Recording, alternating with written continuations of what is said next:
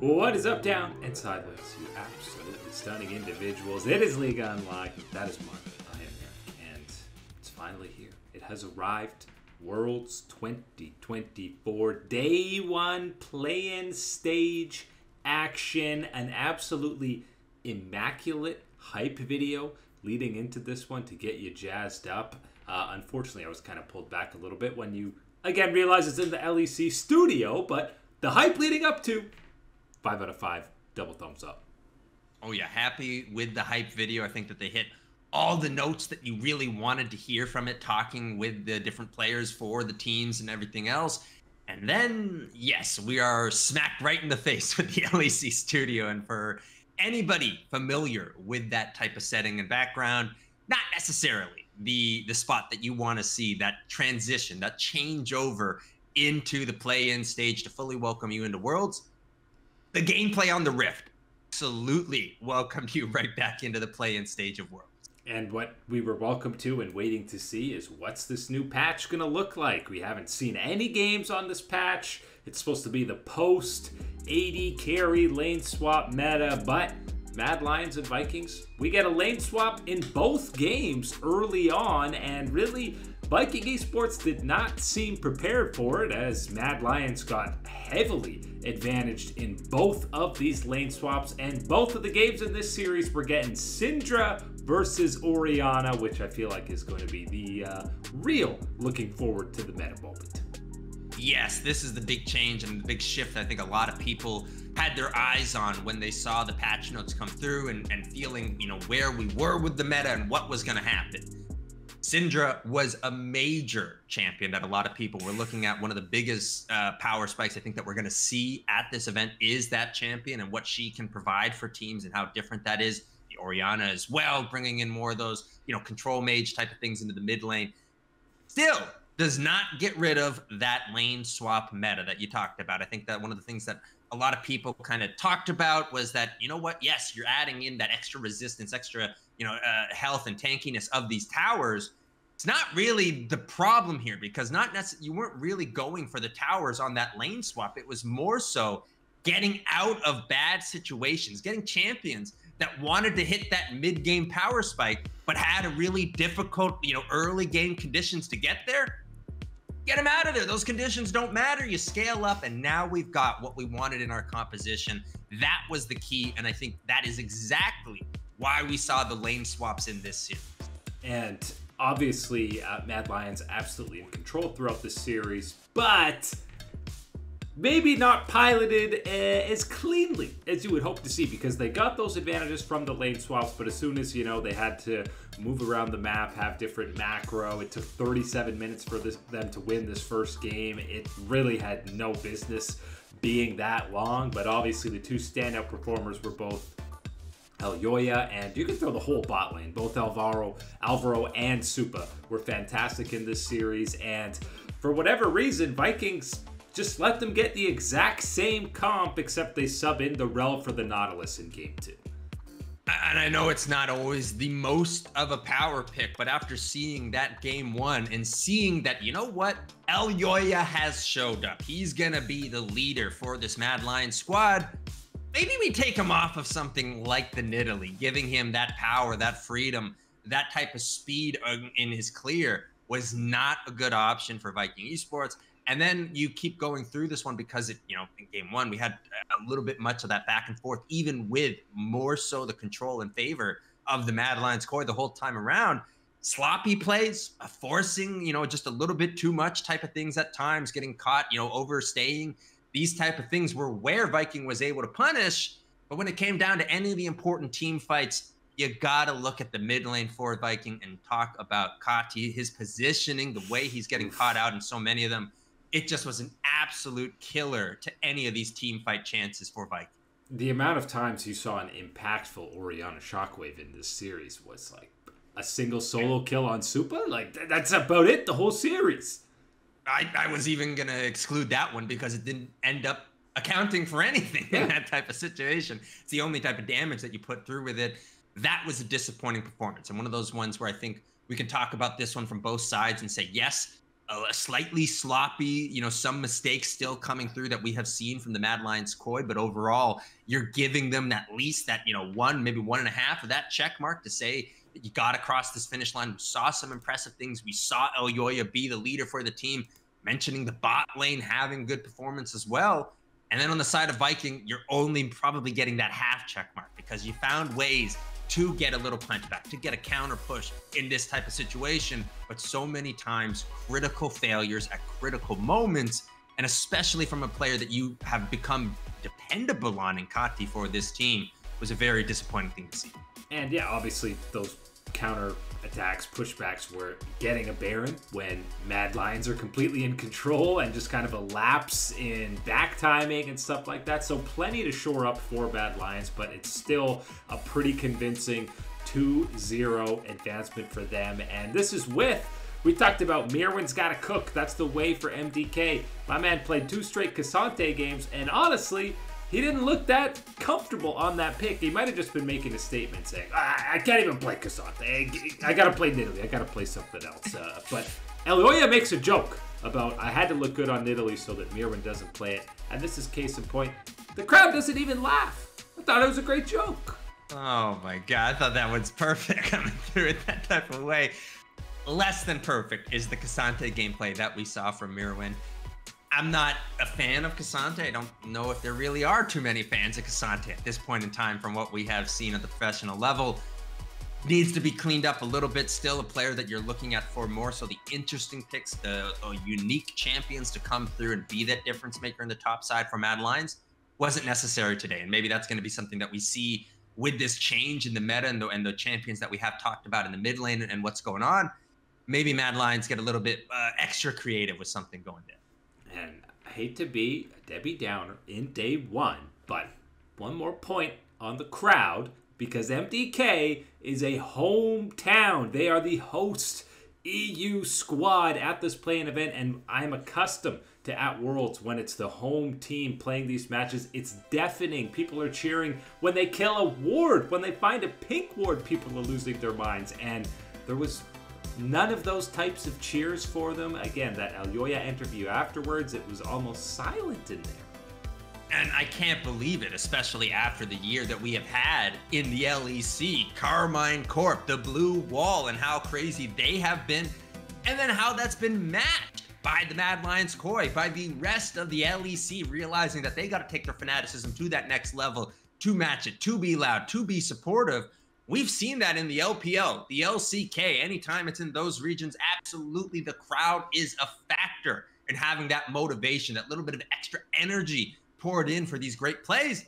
Even the LCS, when we've had it in America, even when we're getting our booty cheeks smacked by any team, minor region, major region, anything goes right for the LCS, you better believe that we're screaming and cheering for our boys. I gotta see that from some of the LEC faith.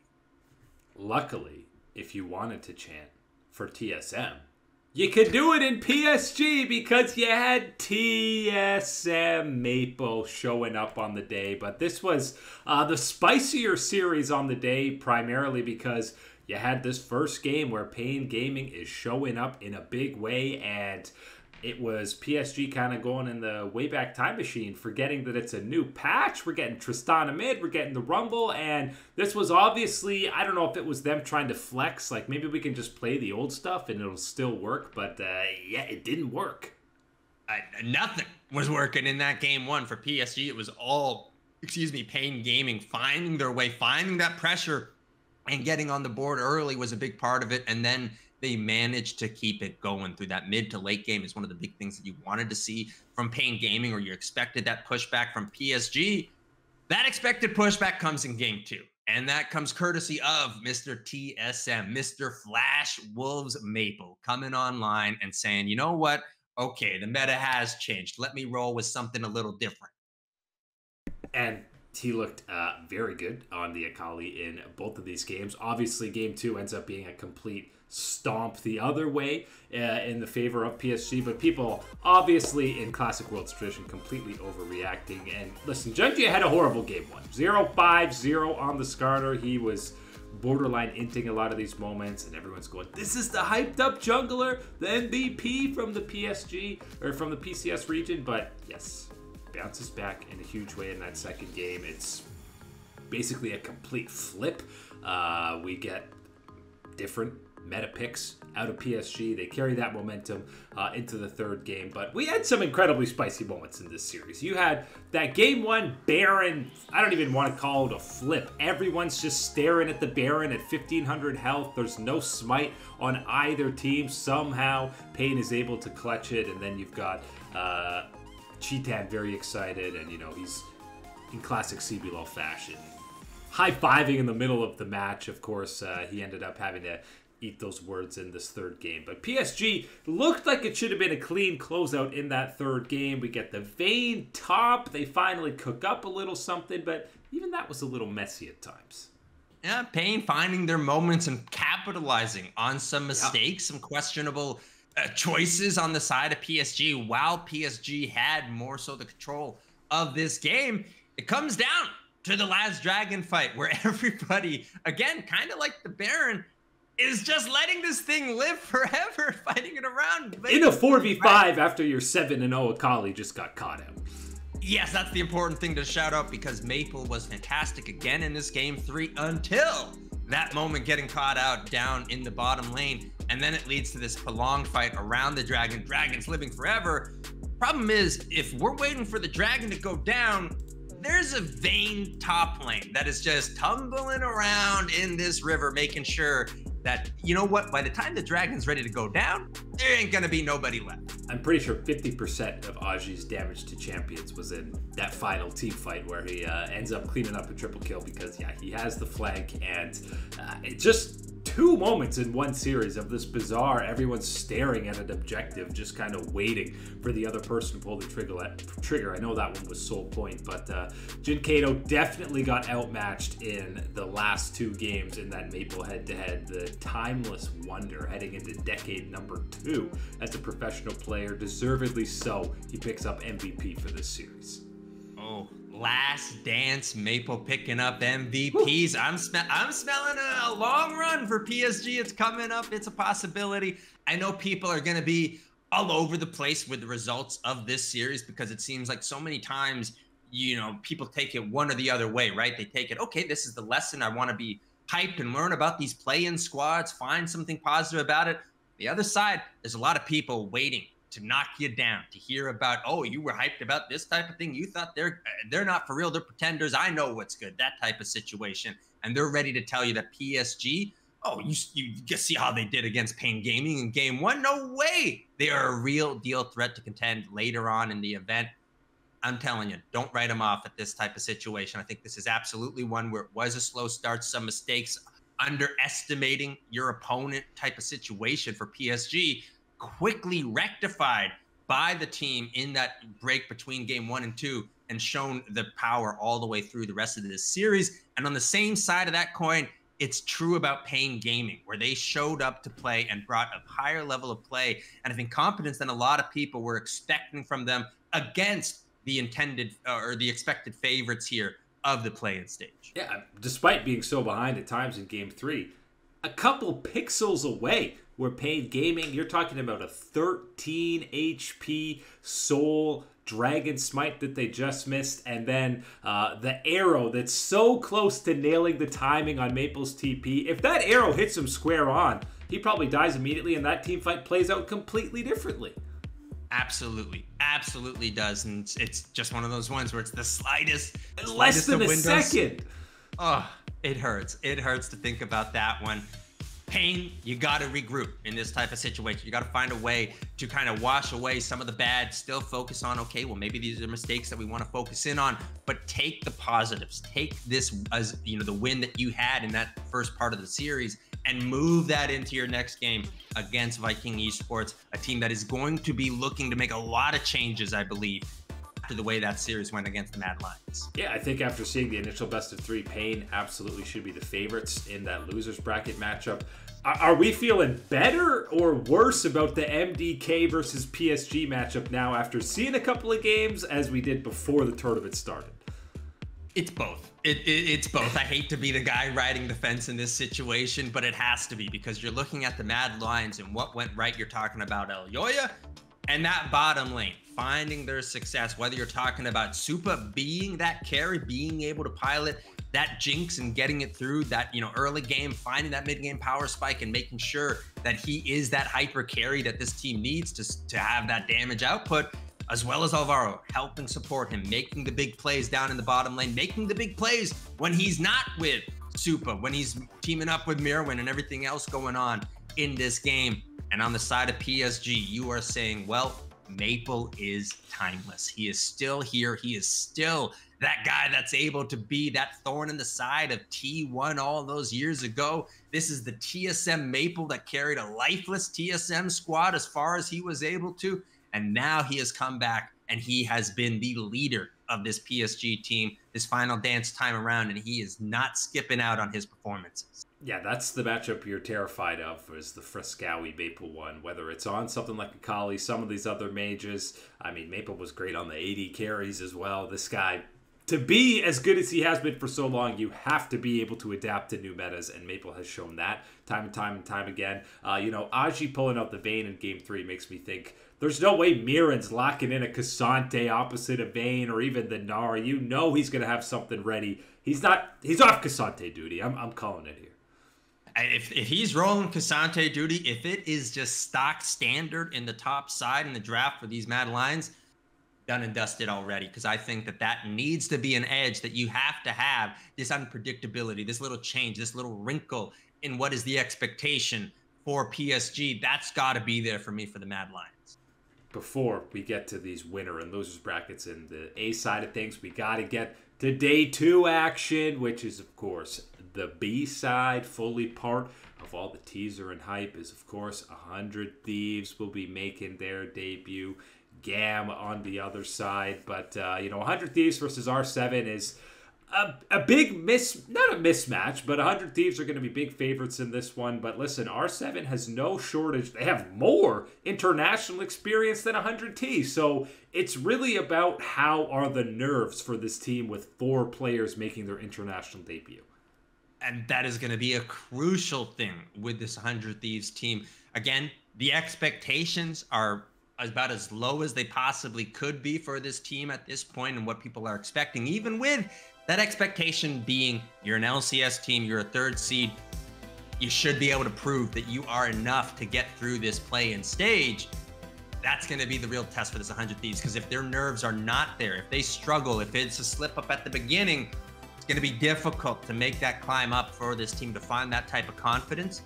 And we know confidence is a major part in how this 100 Thieves teams play, how things go well for this team specifically our boy, General Sniper, up in the top side. He is going to be a crucial part for this team. And this matchup against uh, R7, we got it.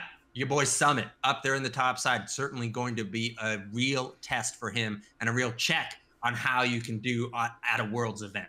And, you know, outside of Sniper, we kind of touched on this a bit, but Quid should be the best player on this entire side of the bracket and should be right there with Maple in terms of best players at this stage of the tournament. That's the thing and that's the one of those things that is you know kind of is that uncertainty still i think with quid is that you know that that talent level is there. Is the execution going to be there when it matters in these type of moments? We have seen that in the lcs that he has been able to be a clutch player at times for this 100 thieves team. He has been able to be that leader of sorts on the rift for the team that's going to be a key thing that I want to keep track of here for these 100 Thieves, whether he is able to step up, he's able to take a confident lead and a confident step forward for this team on their stage games. You know 100 Thieves are dropping a game at least, though, right? Against R7. They've got it. Uh, it's a classic uh, LCS strategy, but I think that this time around, I'm going all in. I'm going that the 100 Thieves, they got it figured out. It will be the 2 0 for the LCS this time. Hey, I'd, I'd love to see it, but I could definitely see the angle that PSG took today. A head scratcher of a game one uh, before they bounce back for that reverse sweep. But uh, the other matchup, equally as excited for Gam versus the SoftBank Hawks, and especially because uh, Evi and the boys, you know, they're a hard team to gauge because they completely smurfed on the LJL during that entire split and really beat up on everybody except PSG, who beat up on them. So I'm very curious what their power level will actually be against a squad like GAM. Very excited, very excited because I think this one right now for me is, is kind of a, you know, 55 45 50 50 type of matchup is the way that I feel about this one heading into it. I need to see this play out really to get that full grasp, understanding on exactly what teams, what type of player we are getting at this type of moment for both of them. I think the SoftBank Hawks will be coming in as the slight underdogs in this situation, but you laid it out. Evi and the rest of the crew, it was dominance outside of PSG is the way that they played out their year. And I think what we saw today from PSG, yes, a little bit uh, of a slip up, but overwhelmingly at the end of the day, through games two and three, you saw that power, you saw that connection come through. That's going to be the question. Do we see the same from the SoftBank Hawks, or is it going to be more of the old magic from the Gigabyte Marines? Do they have anything crazy cooked up, lane swap going on? This is absolutely one of the times that I'm I, I, IDing in on them and saying, give me something wacky, give me the unique strategy that comes through to take your game to the next level. Kiaya is the guy to be doing that. Of course, you heard him and Levi chatting it up in their little teaser that five years ago they were playing in EU at Worlds on this same squad. That's how long they've been running the VCS. And then, of course, you've also got Evi returning to the LEC studio for a little bit of home buff. Uh, he knows exactly what's going on in the studio. He's going to be showing the guys, yeah, the washrooms over there. You get coffee over here. That's where yeah, the 35 no fans hang out. And... oh, no. Uh, but either way, I think that what we're looking at here for this next day of play-ins is going to be exciting because there is that uncertainty to these matchups. Yes, you might have someone you're favoring, but it's not to the degree that you think it can ever be overwhelming in this case even if I'm taking the homer side of the of the 2-0 for 100 teams. I mean, all you have to do look at Pain in Game One. I know they didn't win the series, but showing that they can t- contest like that opens up the opportunity uh, for upset for any of the other teams at the playing stage. It's just day one. We're just warming up for Worlds, but that is it today for League on Lock. Eric and Mark here with you, beauties. Thanks for hanging out, and we will catch you on that flippity flip.